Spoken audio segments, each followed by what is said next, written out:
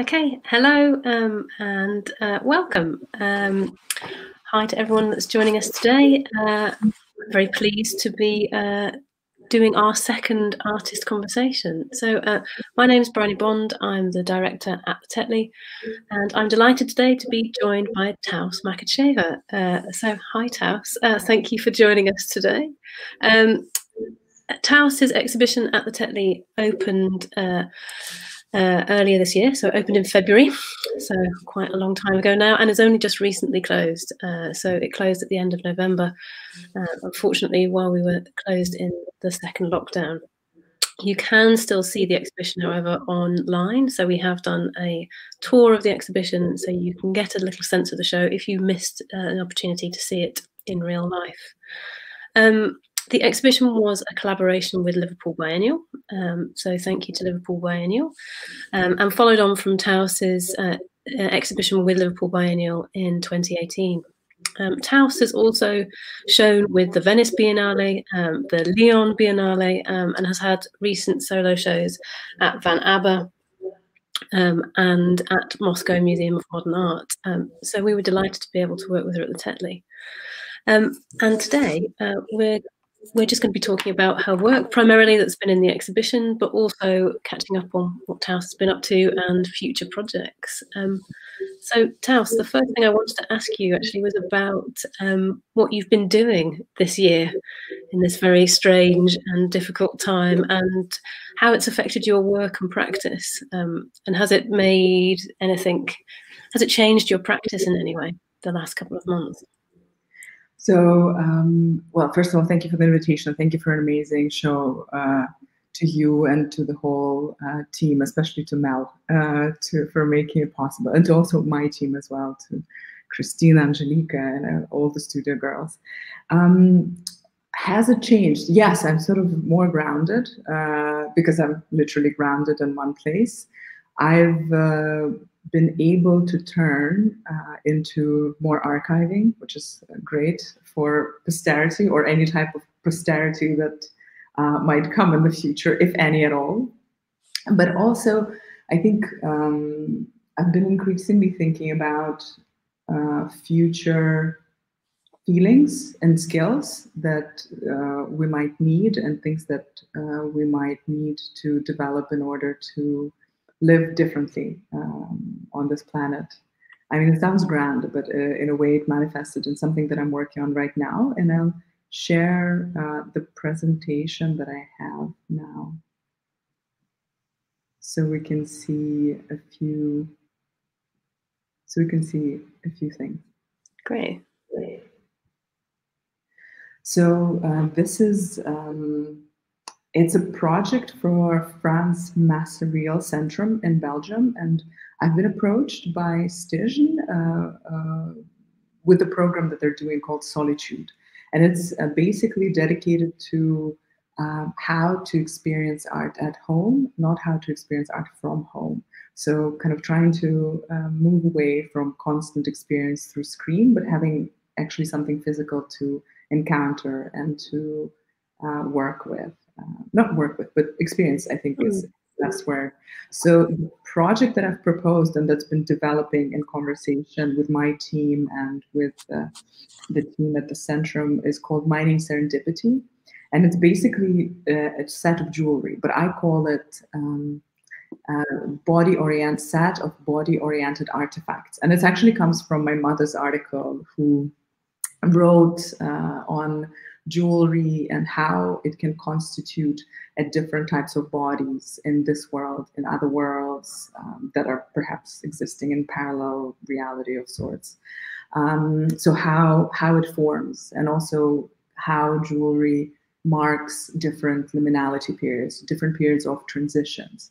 So every um, piece of, well, let's call them charm, um, is dedicated to something. For example, one is dedicated to a term that comes from cyberfeminism called steam engine effect, where same ideas. Steam uh, engine, what was that again, Taus? Steam engine effect. So where similar, where same ideas appear in the world at exactly the same time, and different people can have it. And I guess it relates to the fact that steam engine was uh, sort of invented in different parts of the world at the same time.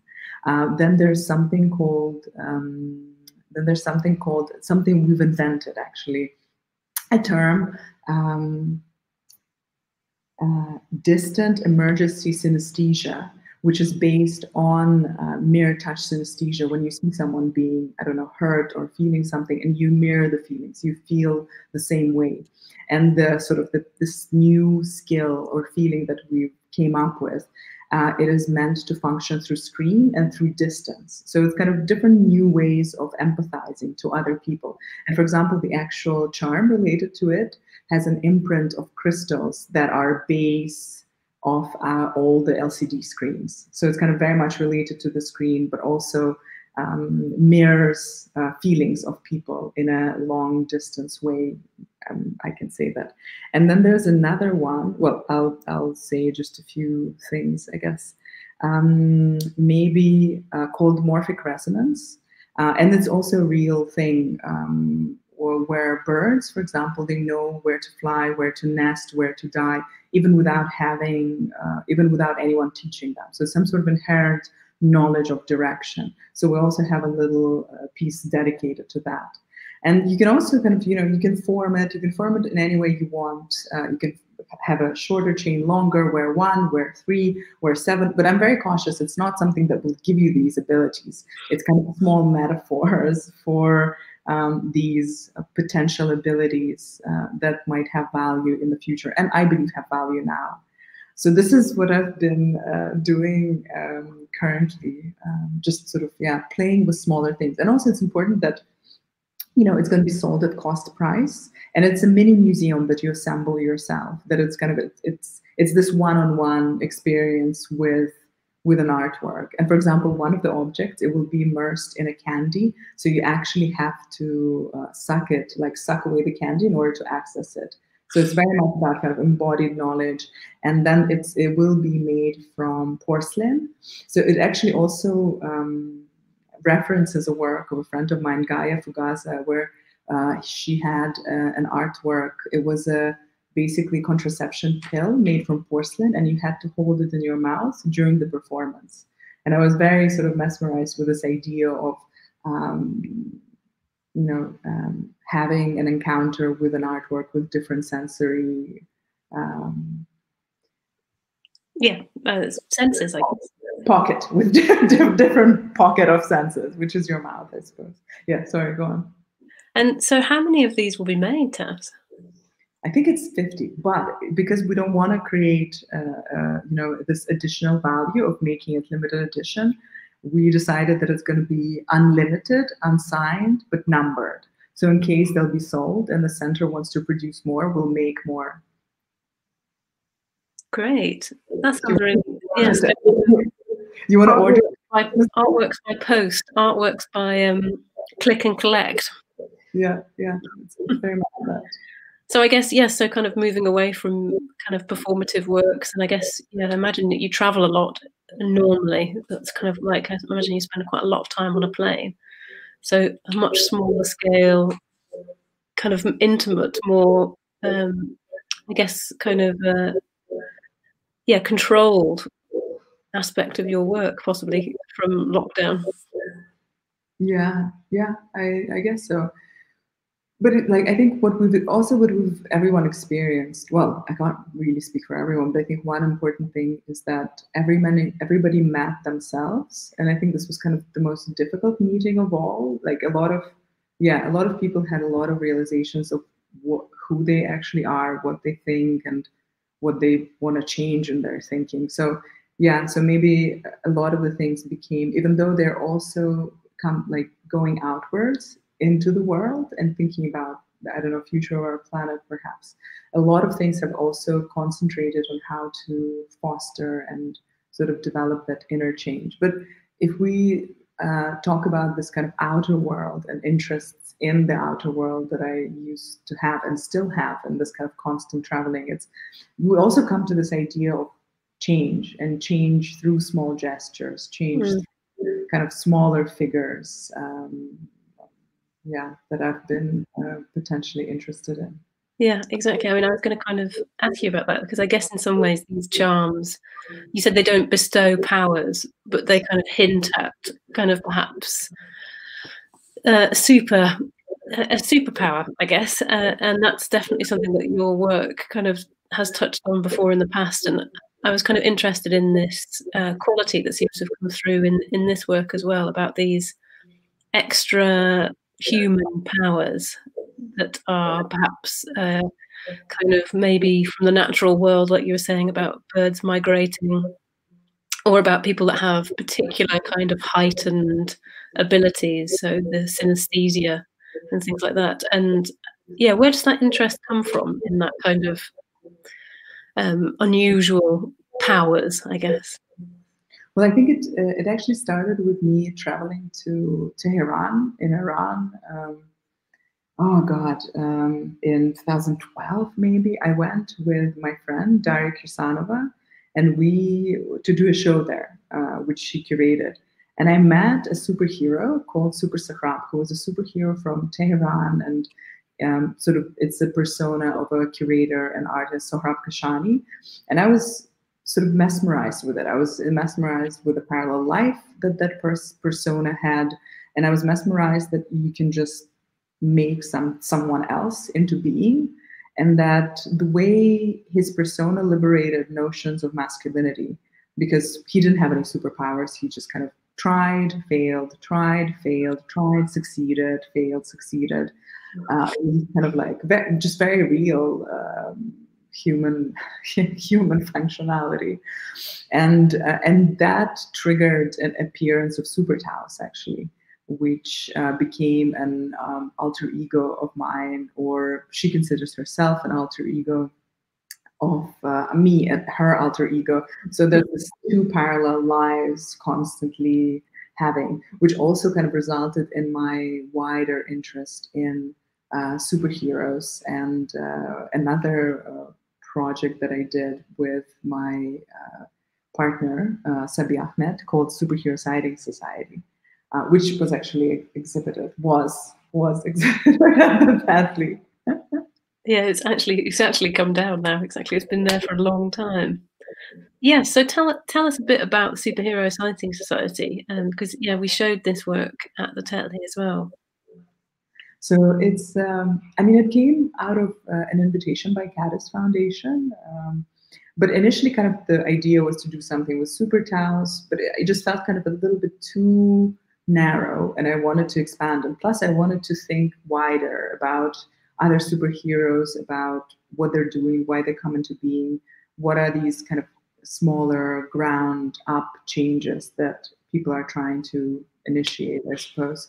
So um, it's actually an installation uh, by the Superhero Sighting Society, which um, which was formed at Kadist in 2019. We didn't want to go, go too much into this historicizing, into this, uh, I don't know, fictional world of uh, something that we've discovered. So kind of our years, our our dates, and it's been collecting accounts of different superheroes. And we worked together with Jessica Saxby, who's an amazing writer, to write up different stories. And we wrote about 30 stories, and they were based on real superheroes that we found, uh, that we researched. Uh, but then they were also twisted. For example, from Britain, I think we found a superhero, Angle Grinder Man, who carries an angle grinder and kind of liberates car from these like I don't know stoppage brackets. I'm not sure how they're called. So we yeah, wrote. Yeah, yeah, yeah, from clamps, yes. So we wrote a story from a perception of a woman who's been given also this angle grinder and like, you know, and, and felt empowered to do the same thing. And then there was also a, a group called, um, no, one uh, guy which we found, I think in Bristol, called the Apostrophizer, who was removing apostrophes um, on different street signs. But we've invented the group that was anti-apostrophizer who wanted to return the unruliness to English language. So they placed them back. So kind of a lot of playful things. And for example, one of my favorites was this um, uh, superhero from Japan uh, called uh, uh, Carry Your Pram Ranger, who wore a ranger costume and helped people carry their prams, prams up the stairs on one metro station that didn't have a lift. So he would just constantly be there. But the story was written from a perspective of a shop, a costume shop owner who sold him that costume. But then he was very suspicious. He thought, you know, who'd want this old costume? This guy was really strange. So he was almost getting ready to identify him for police until he saw him at the train station doing this. And then he submitted his report to the Superhero Sighting Society.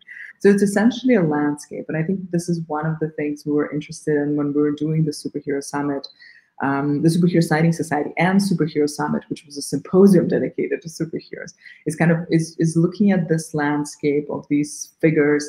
Of course, we didn't want to take sort of America and I don't know superpowers off the American military complex and, and this idea of a hero embodying a country. We wanted to sort of stir away from that.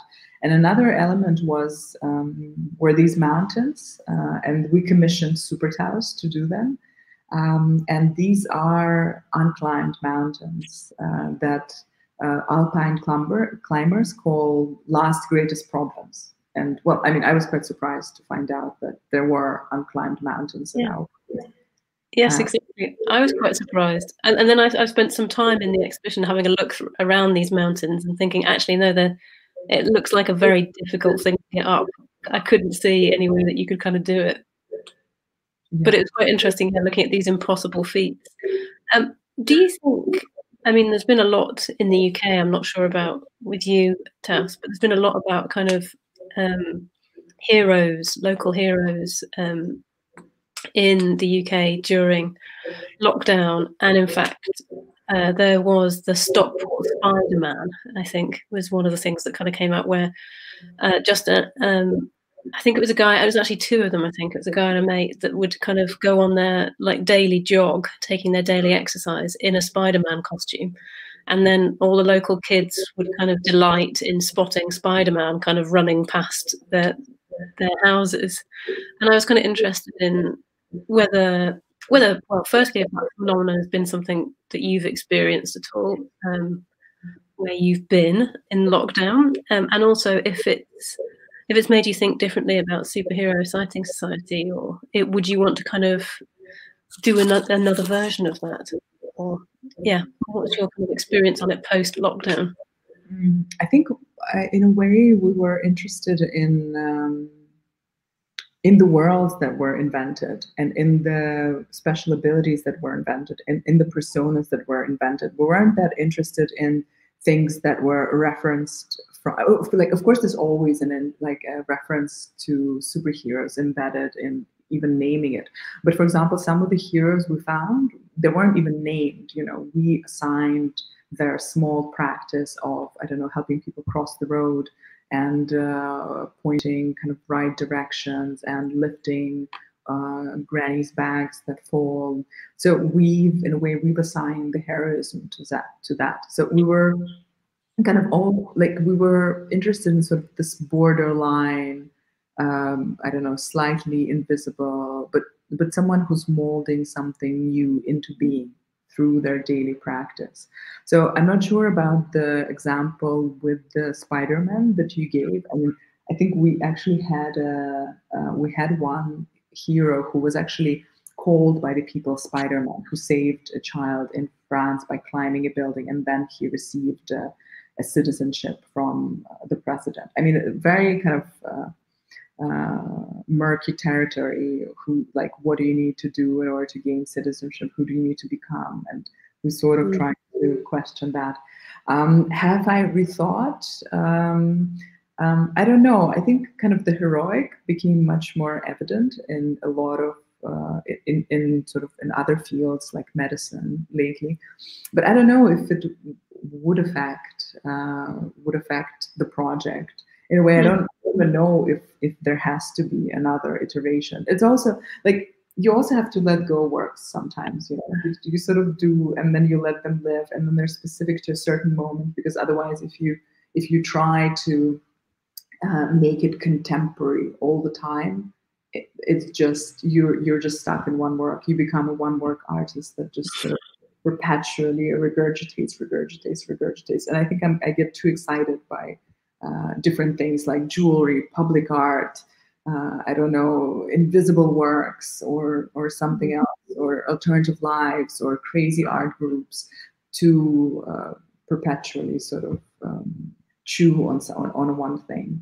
Mm, yeah, no, I can understand that. I mean, I guess I was thinking in some ways, kind of interest in moving, or I guess in the same way that you said about assigning heroism. I think that was what I was kind of thinking about. In some ways, was actually like, um, there's been a lot more of that recently, in kind of assigning heroism to kind of quite, you know, quite large acts of bravery, but also kind of smaller, more everyday kind of practices anyway, maybe maybe the superhero society, uh, society, kind of encouraged that kind of uh, uh, attitude that uh, the small deeds should be seen as slightly more heroic.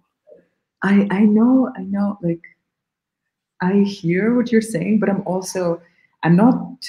Mm, too excited by claiming ownership of um, of uh, you know a, a special intuition towards what the world what's going to happen in the world and really not into this uh, yeah. Um, yeah fair enough.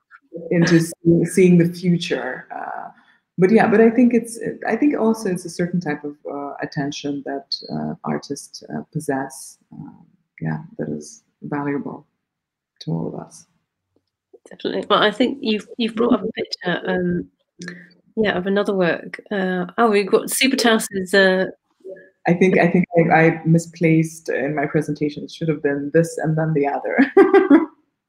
uh, but yeah, so well, Super So so how long has Super been around, Taus? Oh God! Well, this one says 1983. So uh, it depends where where you look at her. If you look at her in my artistic oeuvre, then then uh, let me see. Let me, let me think about it. When did she appear? Yeah, I think like 2014. I think. Uh, but if you think of this story and her perception of me and my perception of her, it's 2000. It's 1983 when I was born. So that's when she came into existence. Um, and in a way, it's um, it's it's a parallel life that uh, allows me to live the life I want and her to live the life she wants. So it's kind of, it, it yeah, it's uh, two different parallel uh, worlds that uh, enable another one to exist by existing in themselves. So could you tell us a little bit about Super Taus's life story? Like, uh, and what does she do? So she uh, she studied at the uh, Dagestani State Pedagogical Institute. She lives in in Tsada Mountain Village, where my uh, grandfather is from, and she works in a kindergarten there, has a family, but was born super strong. So one of the first things that appeared uh, was this video, and we can watch a clip, and it's basically a clip from um, a clip from accidentally recorded on a dashboard camera.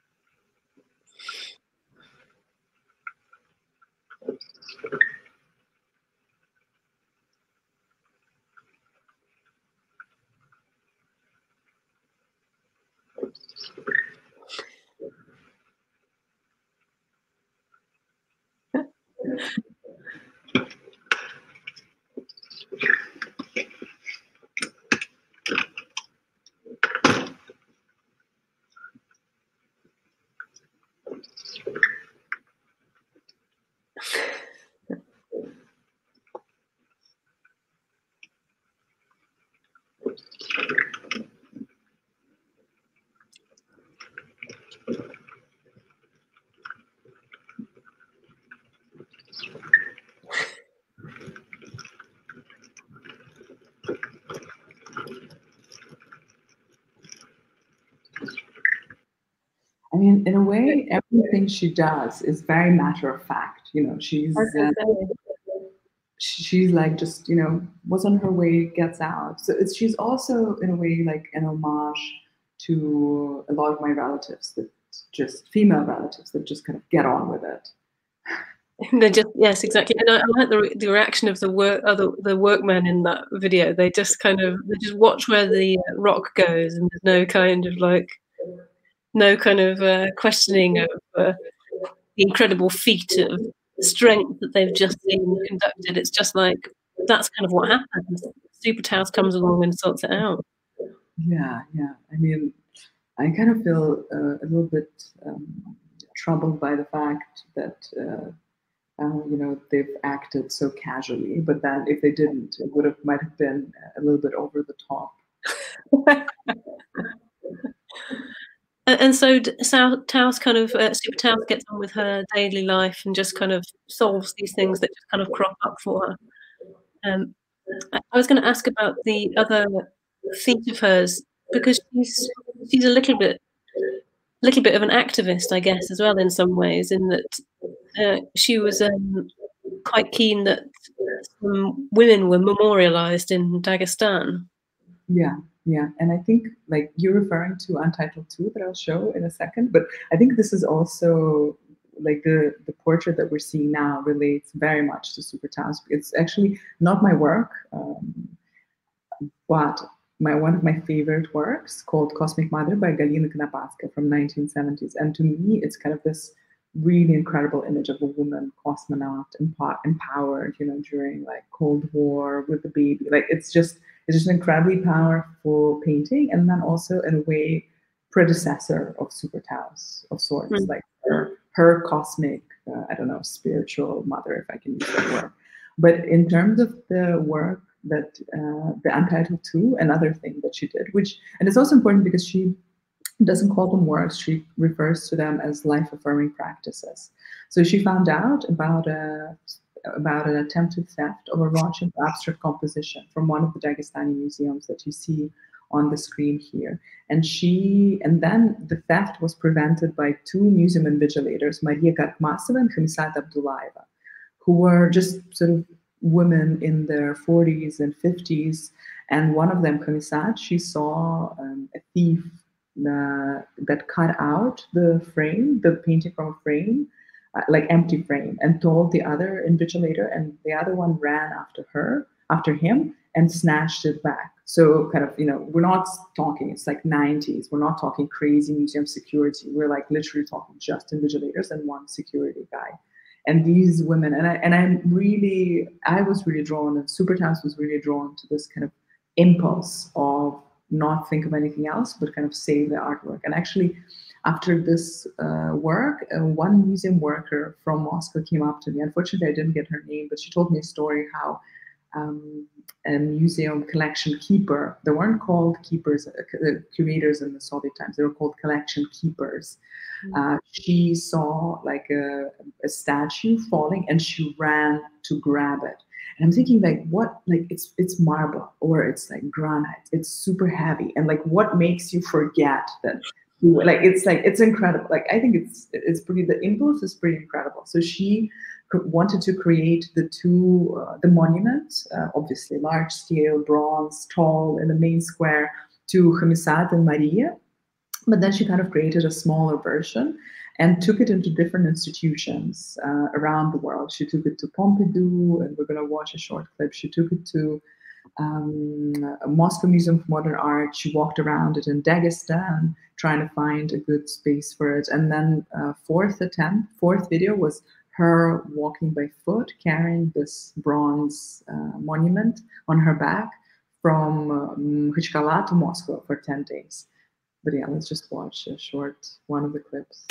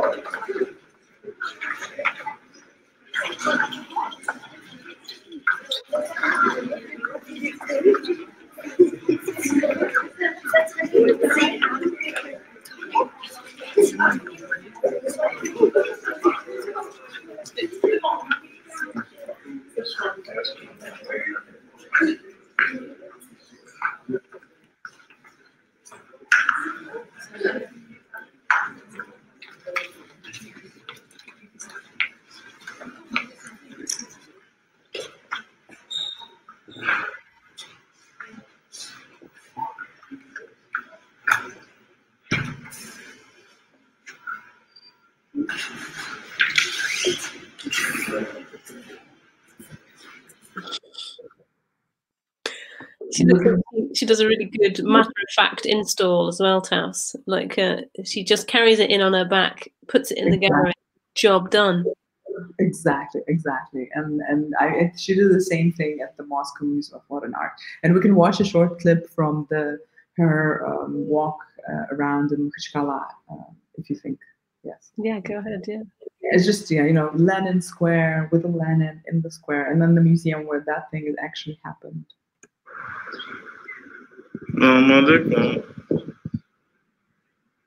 And it's all shot with like different phone cameras, you know, and then sort of assembled together for that documentary uh, feel, I suppose.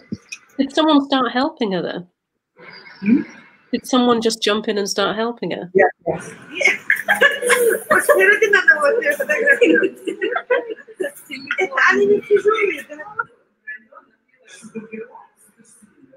Gracias.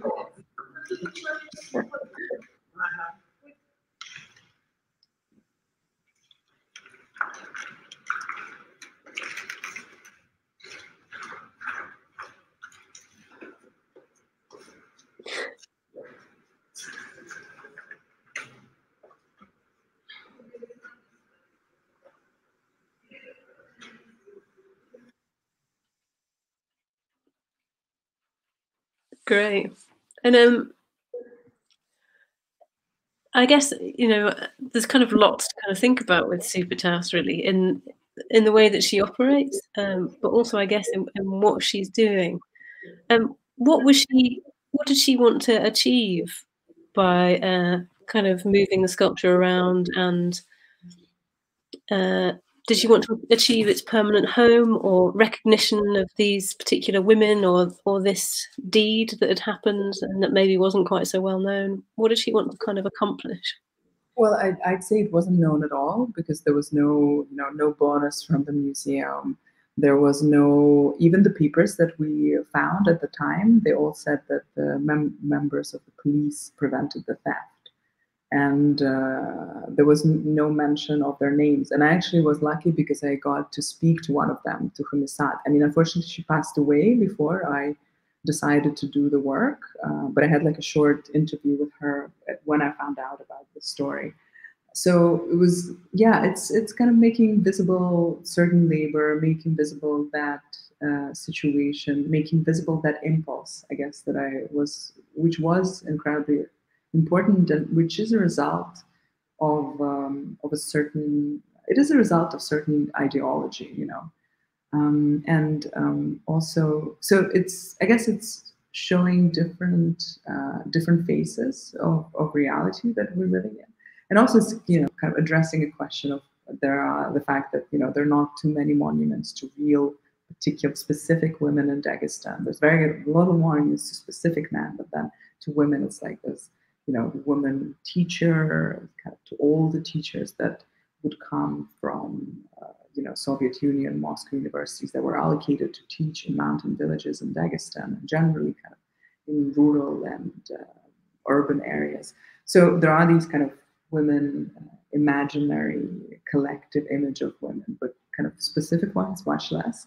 So it's that. Uh, it's it's yeah. I guess it's uh, a lot of things, uh, but I think I'm very drawn to just different types of visibilities um, and collecting different uh, stories and different artifacts, uh, sometimes very shiny artifacts, uh, and sharing that excitement about the shine of the artifacts. I guess as well, I think there's, there's also um, there's something I'd like to pick up on public sculpture, which I think maybe we might return to again. But just on Super Taus as well. I mean, I guess you know she's dressed in Dagestani traditional, um, well, clothing. It's not it's not costume, is it? It's kind of just day to day clothing. And I guess in the galleries that you're kind of at Super Taus is essentially kind of working in, kind of moving this sculpture around and installing. Someone wearing that costume isn't always seen. I'm assuming certainly not Centre Pompidou, possibly not in the Gallery of Modern Art uh, in Moscow. And is is that also how that's kind of seen in those different spaces, how that's yeah. Yeah, no, of course, that, that's a that's a very good uh, uh, good point that you're making, and um, like, of course, it's it's a certain persona, but it's also this thing, this very naive. She, she's quite naive, I, I, I must say. Um, very naive belief that you can just walk into a canon, that you can just walk into a certain history of art and place something there. So it's kind of it's it's complete, uh, completely not knowing the language, but believing that it's yours. The space is also yours. And I think it's it's actually quite similar to one of the very early performances that I did. I think it's one of my first in I don't know maybe 2003 or something when I walked into Tate Modern in Turbine Hall and, and around Tate with big sandwich boards that said, I want my show at Tate Modern with my CD at the back. So it's kind of, it's exactly about this not knowing an institutional language, but having the, I don't know, some sort of crazy ambition or idea. And I remember actually my, one of my teacher, uh, actually no, it was Gail Pickering. I remember exactly who was it at my BA at Goldsmith asking me, so, but what would you show? Was like, oh, I would show that performance. Like if you were offered, you know, right now the, the show at Tate. I was like, oh, I would show this performance.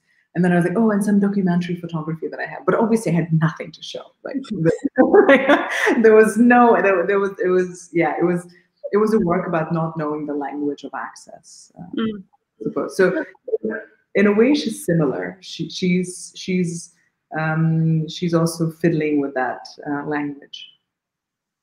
I think, yeah, as well. I guess you know the benefit of having an alter ego is to kind of be able to kind of behave in that way that is actually quite liberating and kind of sidesteps that kind of um, accepted practice of behavior within within the art. So you know, I can kind of see the attraction of the alter ego. Um, I, I know that we'll probably return to public sculpture as a, something we want to kind of discuss. I mean, um, it's interesting that uh, really recently in the UK, I don't know if you heard about it, there was a public monument to Mary Wollstonecraft. Um, and there was a very heated debate about the resulting sculpture that came from it. Um, it was by Maggie Hambling, and it was essentially a, a, a naked woman.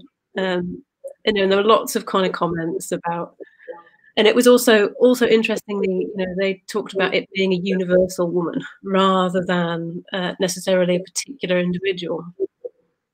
And there were lots of there was a lot of backlash on you know lots of people on um, you know responding about you know why hasn't this person you know been actually remembered for what she did and why did it have to kind of represent everyone? And also you know fundamentally why has she not got any clothes on? Um, but it was it kind of um, you know public sculpture i guess kind of gets people heated in a way that and obviously the recent kind of um, toppling of sculptures in the uk in response to black lives matter and a rethinking a, a lot about public sculpture it's it's something that really you know demonstrates the fact that it still has power that people are still very um, it's not it's not a power that's diminished i would say. Um, and I, I was wondering about, um, I guess I was kind of thinking around public sculpture in that way that I know you've kind of started to look at. Um, and did you find a permanent home for your sculptures, or are they? Uh... It, it was never meant to be found.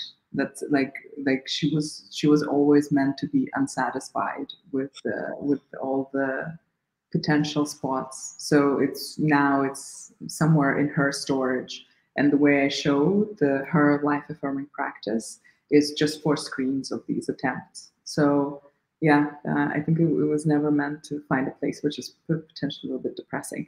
Uh, but I, but also like I think we have to remember that, you know, in UK and I don't know France or Europe, public sculpture occupy a very different place. They are, I don't think they're such living such living symbols of sort of memory and reality. I think uh, as they are in uh, in Russia, I think like in Russia there's still an aspiration to become monument, and I don't think in in the UK there is that aspiration that I don't know writers have or people have. I think yeah, in Russia like it's a still thing that certifies towards something. So it carries a very different meaning. Um, yeah. Mm, I mean, I guess it's it's very, or at least kind of people that have commemorated it are more historical, and I guess the kind of reflection at the moment is about are we are we reflecting the right people in history? Are we actually kind of telling the full story? Yeah, like in a way, I understand the debate, but I'm I'm really generally not a fan of constant erasure because like I, I come from a country that likes to erase and build a new erase and build a new erase and build a new. And i'm really in love with the project that uh, amina amina Menia did um, about uh, in about this real thing that happened in algeria. I think it, it was a monument um, commissioned uh, and built by the french uh, to soldiers of the i think first world war. And then um, another artist has been commissioned much later to hide that monument and, and sort of and build something over it. And he just he decided not to destroy it because I think the destruction was also on the cards. So he just built another sculpture around it. And at some point it gave a crack. So you can see the, the other mon- the newer monument and the other monument inside of it.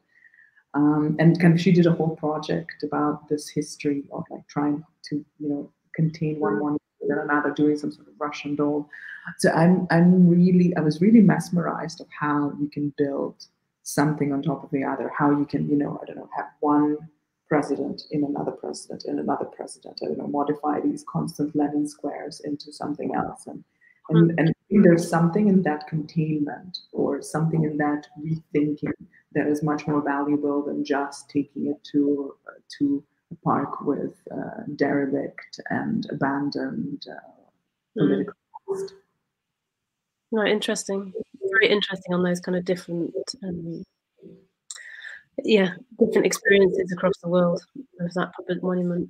Um, but, but, yes, uh, let's turn to the Unbound, which is here actually.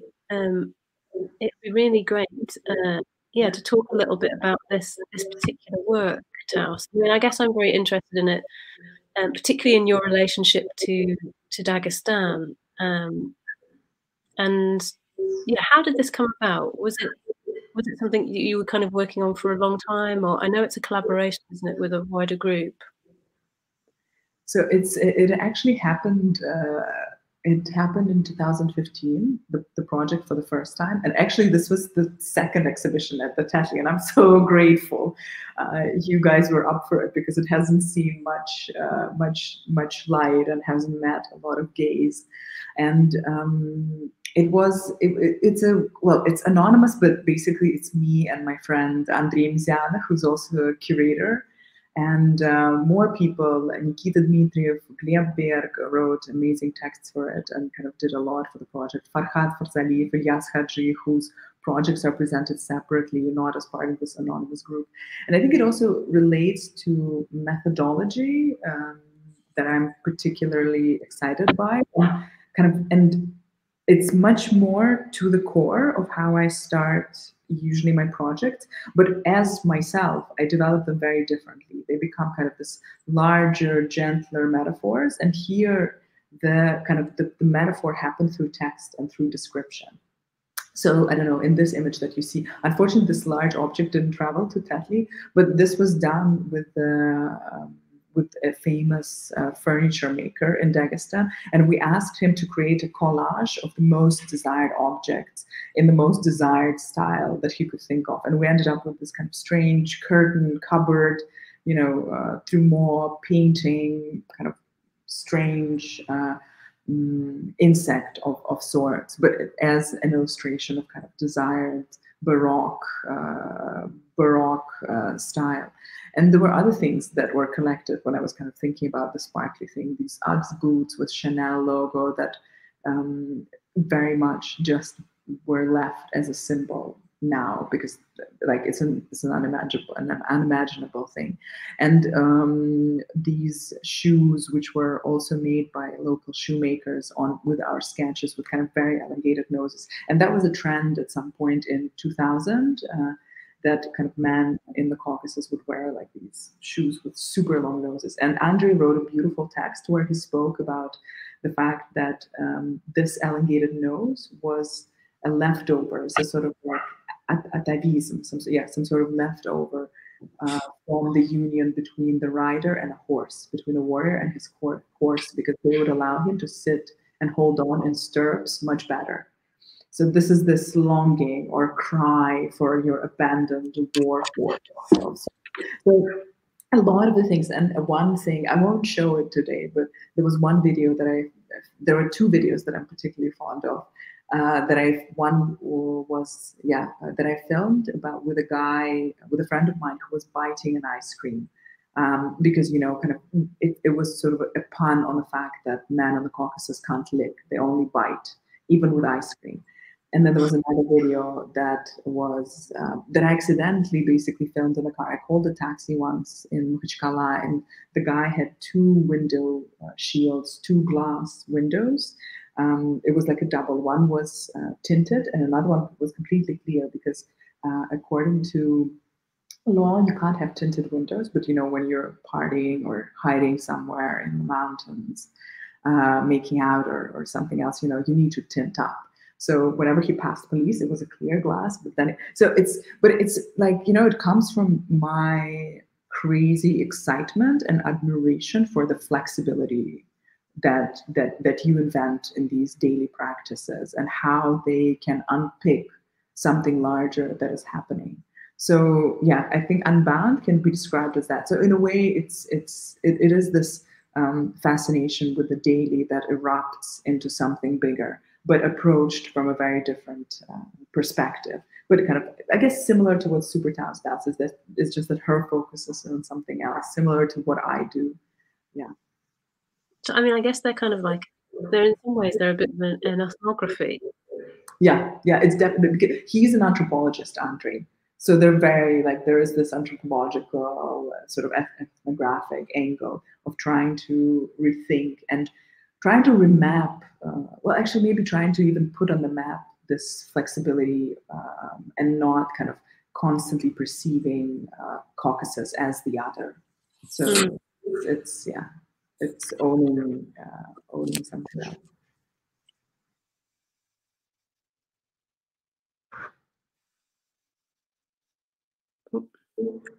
Did you want to show a video from Unbound, or was it? I think we have. I think we have a couple of more works, and uh, it's. Uh, oh yes, it's, we're kind of yeah. We're going to talk about. I think we're a bit behind. So Sorry, I'm I'm kind of just chatting. I'm just enjoying it now. But yes, um, yeah, we're going to talk about a little bit about Gamsutl, which I guess in, in, some ways kind of carries this on. I mean, interestingly, um, when I was uh, googling Dagestan Taus, this is the image that comes up. When know. you when you're what? Say it again. If you Google Dagestan, oh. the image of Gamsutl is one of the things is one of the kind of key images that actually kind of comes up when you're actually kind of looking for it that's that's good. I'm very happy about that. uh, and so, um, yeah, I mean, Gamsutl is is the name of the village we're looking at. Yeah, and it's uh, so I actually initially saw an image of this village in a photograph by Zurgalov, this very good photographer who traveled a lot in Dagestan. And it was in 2011, I think, and at the time, uh, I decided to go there. I also spoke to a local historian, Fatimat Takhnaeva, because she's been there and she interviewed the only uh, guy that used to live there at the time, Abdujalil Abdujalilov. And I went and I met him, and it was um, it was it was very interesting. I mean, he, he was kind of an incredible mind. He had bees on his balcony, which he chatted to, listened to radio, and wanted to make there like uh, sort of a very interesting uh, very interesting kind of ecological park. That's what he kind of uh, decided. That's what he kind of imagined this place being. And he moved back in, uh, I think, the 90s uh, because he had an argument with his uh, relatives about the, the flat that they were living in. But maybe that's irrelevant. Um, but the fact that he was living there alone, and I guess the whole architecture gave me this idea of um, thinking about a space and thinking about enacting history of a space of a place through choreography. Um, and through different things, because it was basically kind of the way it was built on the rocks, it was uh, to use uh, the farmlands for farming, whatever kind of flat lands uh, there were, uh, and also kind of as a, as a protection, as a kind of a military protection uh, site that is kind of you see everyone who's approaching, and it's super high up, and it's very well, uh, it functions very well from war perspective, I suppose. And then I've uh, I met a choreographer, Anya Balichina, and we started thinking like, what can it be? And you know, I brought her a ton of uh, you know printouts of uh, war paintings from the Dagestani Museum of Fine Art and the Historical Museum of Dagestan. I was like, how can we turn this into a dance? Like, can we do something about it? And she turned it into a dance. And it, there's actually a few uh, segments of the work um, that is uh, that uh, are based on different uh, themes. One is this first part, which is based on war uh, war paintings of the Great Caucasian War when Dagestan became part of Russia.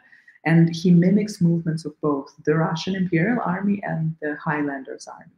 And then the second part is based on a dance of a collective farm brigade leader, because everyone was moved from that village and a lot of other high mountain villages into these collective Soviet farms in 60s and 70s um, in order to build a better future, I suppose, and uh, farm better lands. And also, you know, once you um, you want to remap the roads and you want to remap the um, remap the living conditions and move people uh, once kind of the land becomes your own uh, in a way. And then the third uh, fragment of the video, third part of it is based on kind of my contemporary thinking of relationship to ruin and relationship to a place and connection to a place that you might occupy. And we can watch short excerpts uh, from the video.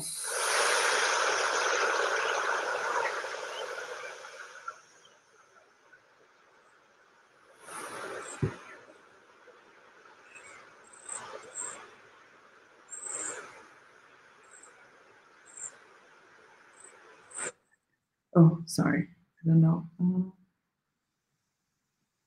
what I've done there. There's a short excerpt to see something. Uh, sorry, I wanted to scroll, but it didn't work out the way that I planned. Just give me one second. Sure.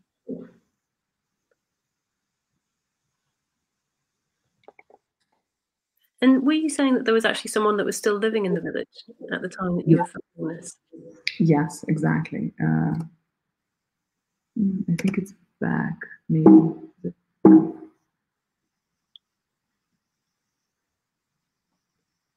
Hmm. Sorry, one second.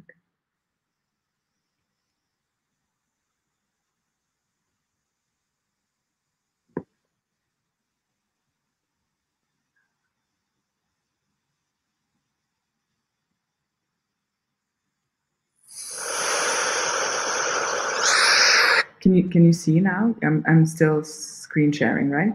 Mm-hmm. Yeah, we can see it. Okay. okay. Little thumbnails. And now.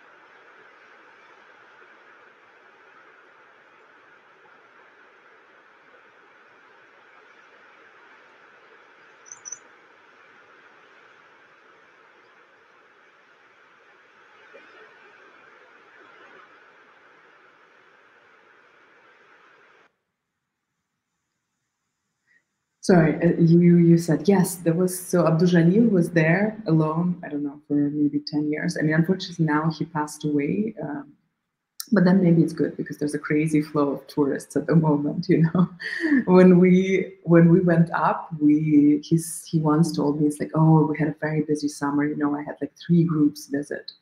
Now I think when I went up this summer, I had maybe I saw about sixty people on the way uh, up and down so it's really, yeah, it's really uh, a lot. I mean, it's it, it's great that the, the, space gets experienced, but I guess it wouldn't be so quiet for him. Uh, so this. I was kind of interested in that actually in the in your work about the relationship between um, not it's not a nostalgia, but a kind of um, a, a memory or a kind of perhaps um, uh, imagined idea of a Dagestani past, and then um, and how that kind of um, meets a kind of present reality, I guess, in some ways, and that, and I, I think the Unbound and maybe Gamsutl is a little bit about that. And I, I was wondering about how is that does that is that kind of a mirror about your kind of personal experience of Dagestan, or how do you how do you experience Dagestan yourself? Mm. Um, I like this, what you say about imagined idea, because I also collect a lot of um, seemingly crazy stories and try to make uh, try to make up uh, confirmations for them. Uh, when I was doing research for tightrope, I uh, one of the tightrope walkers we interviewed said that, oh, you know, like ancient times, our uh, you know, forefathers used to put a tightrope between two mountains and walk, uh, so it would be shorter to walk between them. And I would, uh, and uh, once I did a, a silk screen print where the actual photograph was sort of, it was photoshopped, but it was exactly this, like a tiny tightrope, a tiny tightrope walker between two mountains. So I really like this imaginary imaginary history, an imaginary idea or imagined memory how do I experience it? Um, I don't know, in a way, in a way through fascination to these imagined histories, and at some point it becomes, uh, is at some point facts also become irrelevant uh, because you sort of immerse yourself into stories of people that surround you. Um, so I I do experience it a lot through imagination of people around me, I would say, and people that I meet there. Um, this may be one thing, but then I guess experiencing actual nature is very different. It's it's sort of it's very yeah it's just kind of very personal and and uh, fortifying experience uh, to yourself. Yeah, thanks, Taus. I think um, we said we'd open up to questions at one o'clock, but I know we wanted to talk a little bit about ASMR Spa. So uh, Actually, what is this painting that we have up on screen at the moment? Did you want to mention that? This is uh, this is a painting uh, by Franz Roubaud, and this is exactly one of the paintings that were reference work for his dance in the beginning of the film when we see the full panorama of Gamsutl.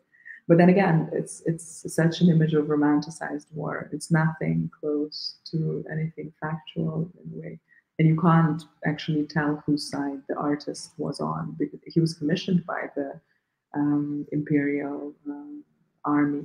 But then, yeah, it's still a big question. Well, uh, maybe it doesn't even matter. And then, so these are just the references for Gamsutl, and that's also often how I work. So this is the dance of a collective farm brigade leader that I mentioned that the second part is based on, because the middle history and the history of this abandonment was is very recent. It's we're talking like 1960s, 1970s when people were moved into these collective farms. So it became so it crumbled very quickly. It crumbled within like I don't know 40 years, uh, so much. Um, I mean, it's it's the architectural builds and kind of without people, you know, the moisture is not pushed out after the rain. So it, it it's yeah, it relates to that, but uh, yeah, so those three parts. We can we can go back to yeah last work that we wanted to touch upon that kind of actually served as a catalyst to our meeting and to in Liverpool in 2018. Yeah, exactly.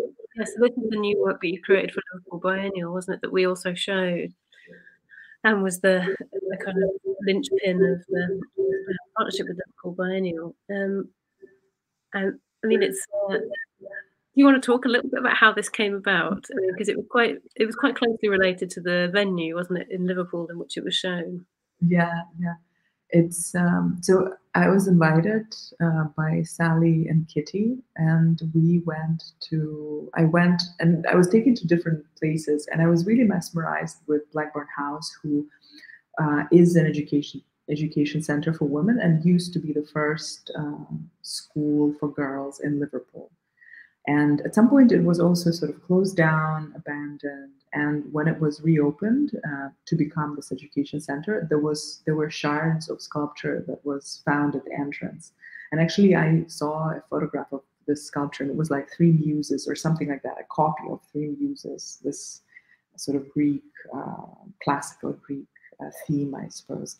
And um, and I talked to Brenda, who was a deputy director, and she told me a lot of interesting things. And one thing I re- remembered quite well was that, you know, when women go to study, by the mid-year, by Christmas, they hit something that they refer to as the brick wall.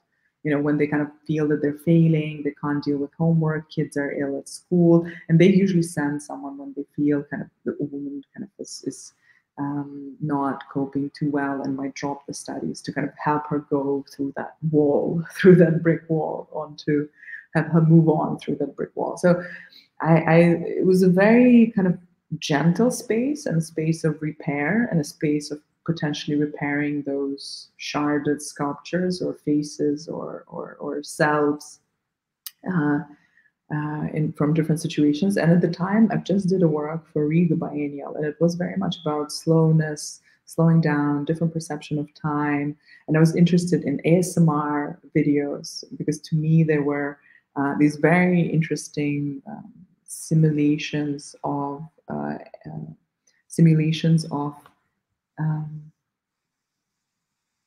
connection or intimacy through the screen, and it was incredibly like uh, it was incredibly interesting how why they were so popular. I'm sure they're even more popular now.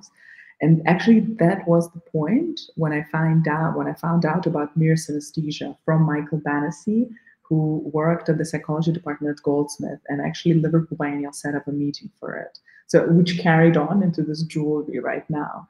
So a lot of things I think emerged from that work and kept on being reworked. And there were several elements to the work. Um, there was a sculptural installation, which was done by Alexander Kutovoy, this amazing colleague of mine, amazing artist. And basically, what he did and what we sort of experimented with together, he took a head, sort of this Greek uh, classical head uh, that students uh, usually study and, and you know test draw from in art schools, and he kept breaking it and then when we saw the pieces that would fit our idea, we then later kind of he made copies and made them into this large sculpture. So you see kind of you can make out a cheek, a bit of hair, a bit of neck. And then it was very interesting how he spoke about surfaces. You know, this particular sculptural element of the work had three types of surfaces. The prehistoric, which was this kind of stone uh, surface. And then the ancient being the kind of Greek cheek, and then the, he called it Euro renovations uh, surface, which you know when you tr- when in the 90s you would kind of renovate your home, you would kind of try to do it sleek but fail. So kind of there's a little bit of failure uh, in that surface, uh, embedded in that surface. And I've never actually kind of uh, worked with someone or actually heard someone speak so conceptually about materiality. But maybe it's just my lack of uh, awareness of the way sculptors work. So this was one element, and another element there was a there was a facial that you could book, uh, and the beautician narrated a story written by David McDermott, um, who's this incredible writer who at the time was based in Liverpool. And the story retells a story, retells her story, the beautician's story, the story of her skill, the story how somebody came to do this facial, and he was an art restorer and he came because he wanted to feel what his paintings felt when he was restoring them. And she talked about mirror synesthesia, the fact that she has it, about empathy, about the works that have been left after uh, other Liverpool biennials in the city. And if you couldn't book an actual facial, uh, you you could watch the video, the ASMR video that we recorded, where the story would be audible and all the the sounds of kind of things being applied to your face, washed off, crinkled, brushed, would also be uh, audible. There was one more element that I want to mention that would take just a few more minutes is that we developed a special line of beauty products for it with the uh, Tigran Gilitsan from 2211 in Moscow and this was a, very interesting. I mean, I love this kind of. It became a conceptual spa, potentially my alternative career. So we've uh, we had different products based on different sculptural processes. Um, there was a clay cleanser, metal infused toner, scrub with mineral granite, wood massage oil, and then a plaster mask that you would remove and leave an imprint. And then the last thing was that was cream uh, where main ingredients were linseed uh, oil and cotton extract. And it's basically if you try to make a moisturizing cream out of an oil painting, that's what you'll get. So kind of you go through this molding, kind of through these stories, and kind of absorb a painting and leave. Well, hopefully transformed in some way, but uh, yeah, that that is not for me to say. So yeah, briefly, this this is the one. It's quite a great. In some ways, it's quite a good summation of your of your practice as well in that you know it, it kind of touches on lots of things from uh, yeah restoration conflating the body and the art object you know that you are this kind of broken art object being restored by a beautician slash conservator yeah. you know there's lots of things and i guess in a way you know the performance um, that becomes part of the work as well so yes, I can see. That I think ASMR Spa is actually a really good summation of lots of the areas of interest in your work. Um, I'm going to turn to some of the questions that we've been asked actually online, um, so that we we actually kind of uh, bring in some of the voices. Um, they're really great questions, actually. Um, I'm going to start off with the first uh, first one that's on my screen. Is um, how uh, can you explain how the exhibition name "Hold Your Horses" came about? Which is the point, and I forgot to ask you that. Um, where does the name come from, Taus? Oh, I need to open my notes. uh, I need to remember. So, I think, well, first of all, I like uh, playful names, uh, playful exhibition names, and I think it was um, in, I think it was in relation to patience. Uh, different timing and different and holding back uh, sort of first uh, mm, intuitive no not intuitive knee jerk judgments. Yes let's put it that way. So so i think it was it was about that. It was kind of like you know giving time to give it time. Let's see. Um, but i think also it, it somehow ended up relating to tetley as well and how it used to function. I think mal told me if i remember correctly. Is that around the horses delivering?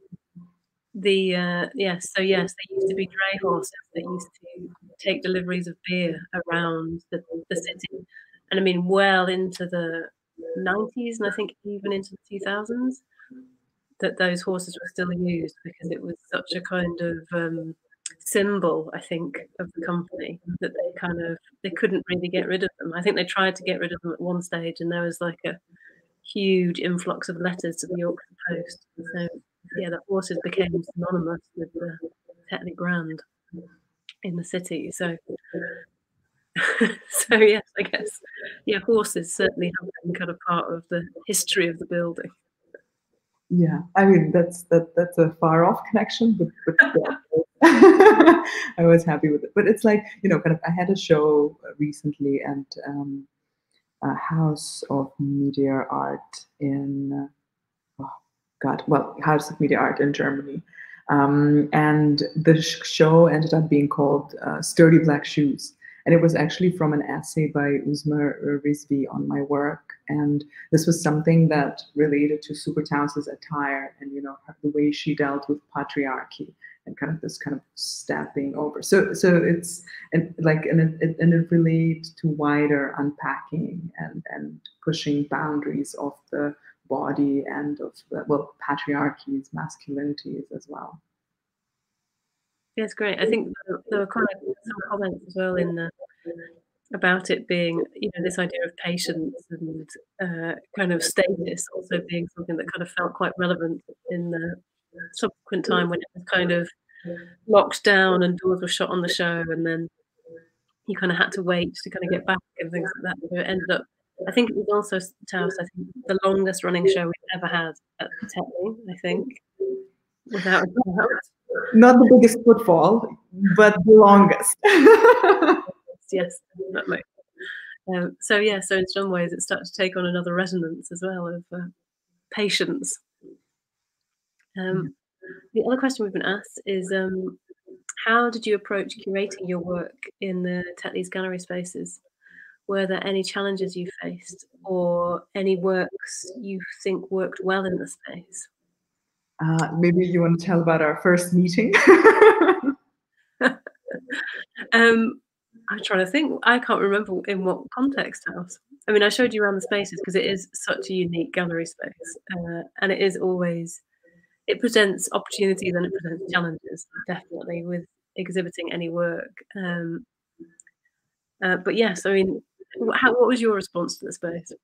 So uh, I think we laid out the show like almost completely in the first meeting.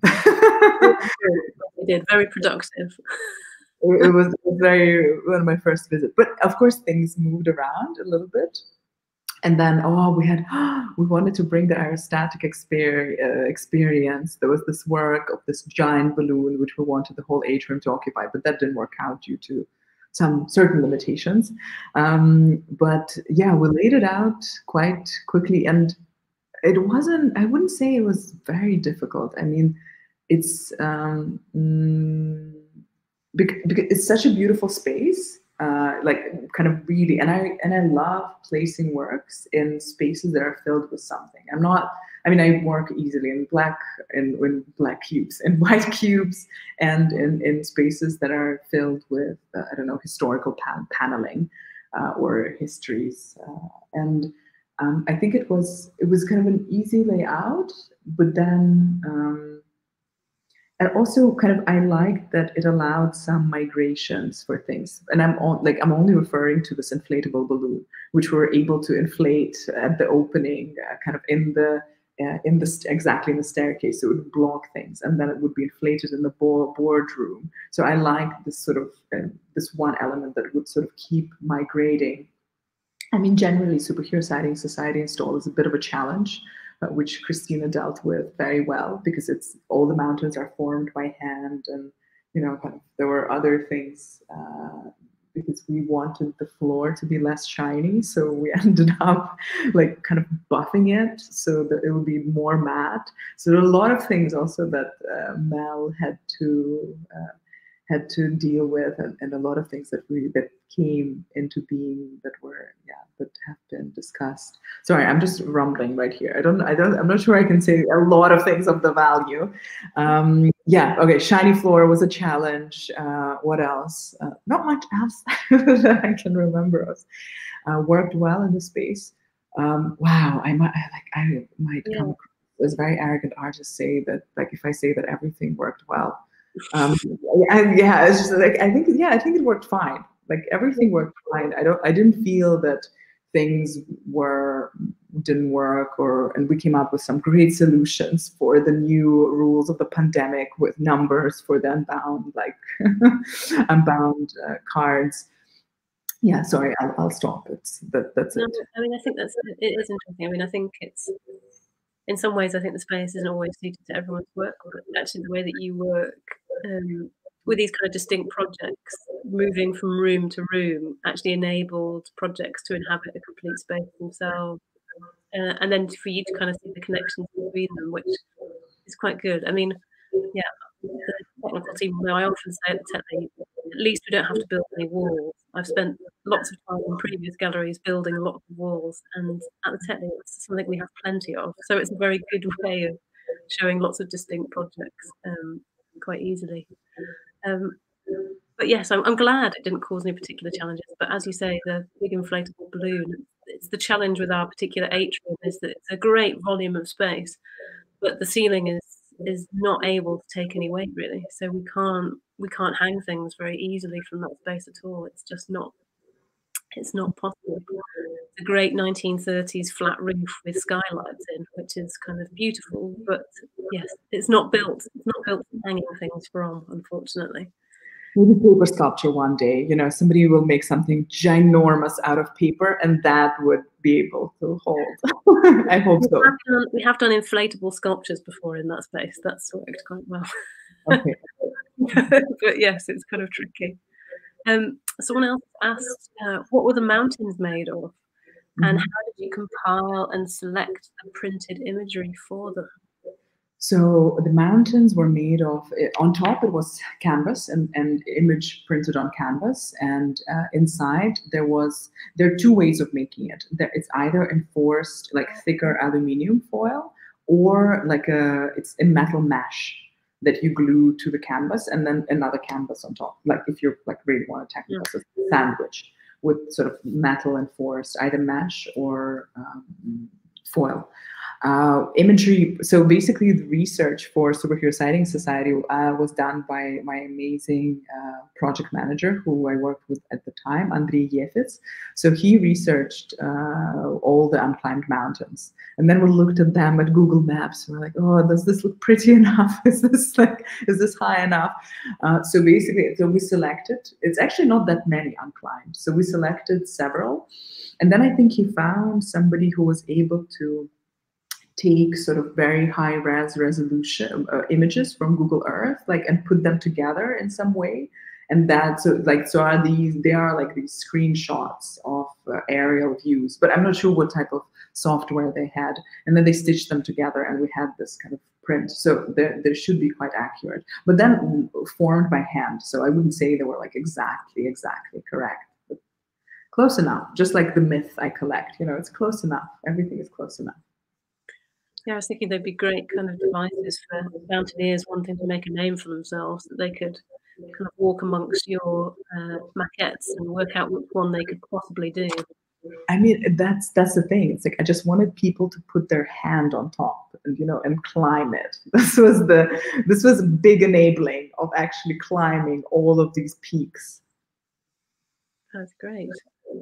Um, I was going to ask you actually, tell us about um, what's coming up next, um, and what are you what are you kind of working on at the moment, and and what's next for yourself and possibly for Super Taus? What have you got coming up? Oh, I don't know. Super Taus is pretty busy with her kindergarten work and family, so there's not much coming out from her. I'm currently doing my first public art uh, commission, and it's actually something for a small square in front of a residential building. And I'm quite excited because I've never done anything like that before. And basically, I'm just making a ginormous minerals and crystal sculptures so it's uh, yeah, it's some it's it's in a way it's a portrait of different layers of the earth combined into these uh, mineral, beautiful, sparkly uh, things that have different origins uh, embedded in them. So, so no figures, no figurative public art. Yeah, yeah.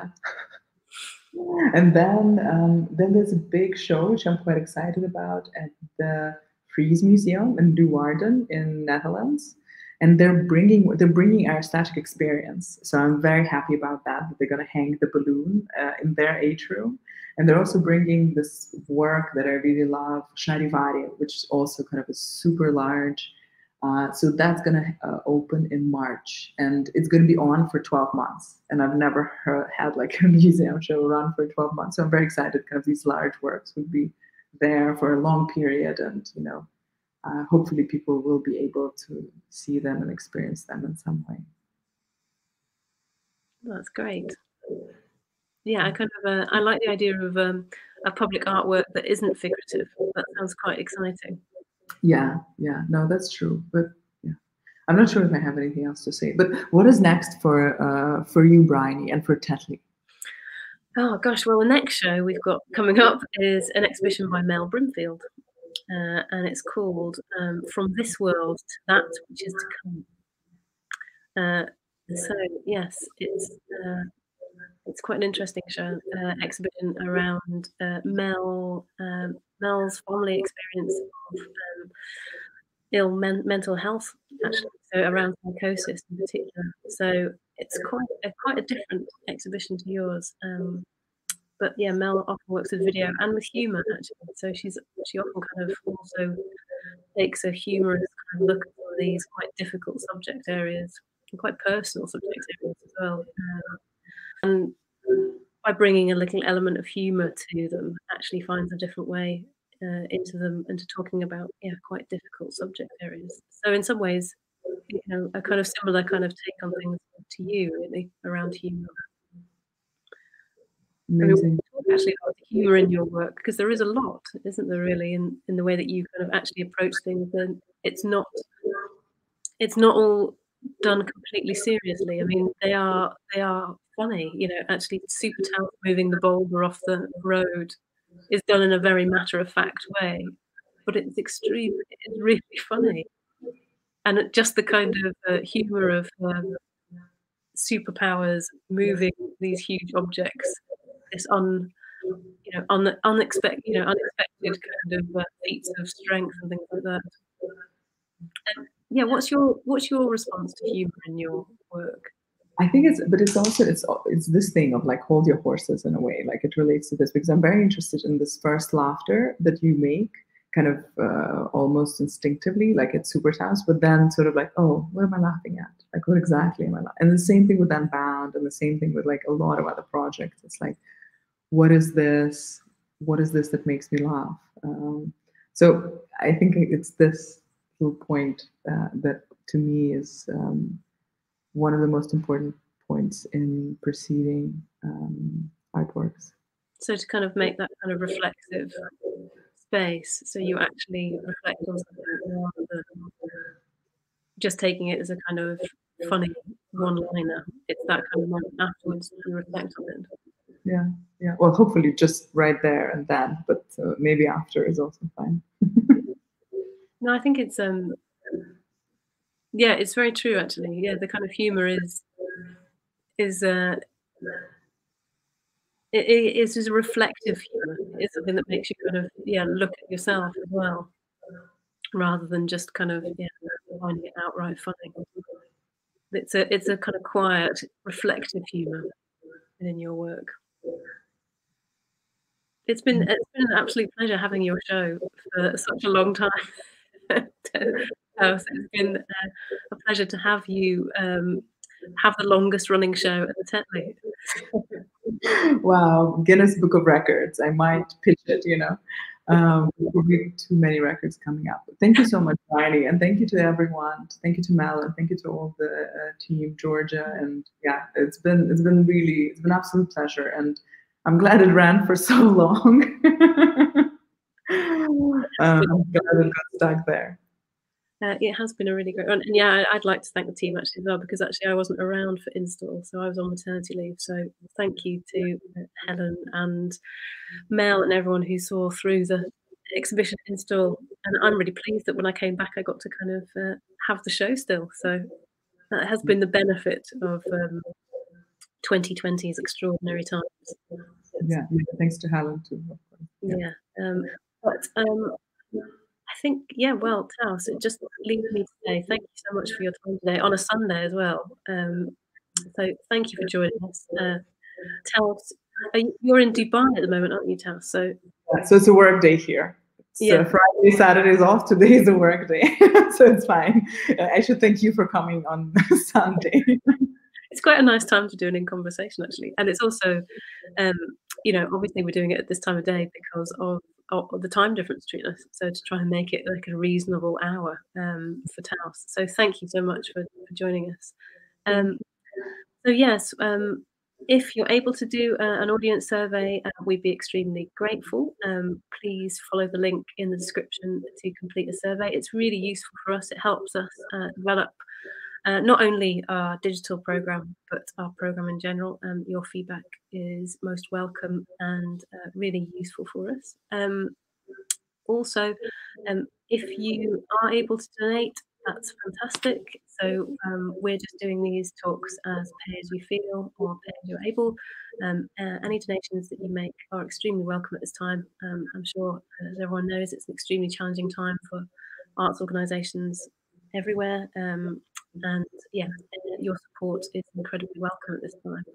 So thank you for that. Um, and yes, uh, thank you all for joining us today. Um, and I hope you have a good rest of your Sunday. And thank you so much, Taus, for doing um, a fantastic in conversation. And thank you, Georgia, behind the scenes, uh, making all the technical things working. So thank you so much. And goodbye. Thank you very much.